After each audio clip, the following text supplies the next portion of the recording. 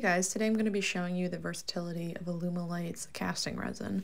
So I've been experimenting with it. I love that it only takes 10 minutes to cure. It's a perfect last layer for any project you're working on. So here's an example of it being freshly pulled out of the mold and then one I had that was sitting around for a few days.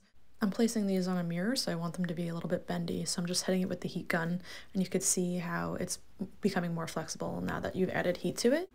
The reason that this resin differs from other resins is because it has urethane in it. It's a rubber-like material that can stretch beyond its original shape and return without breaking. So that's why you're able to get that flexibility if you add a little heat to it.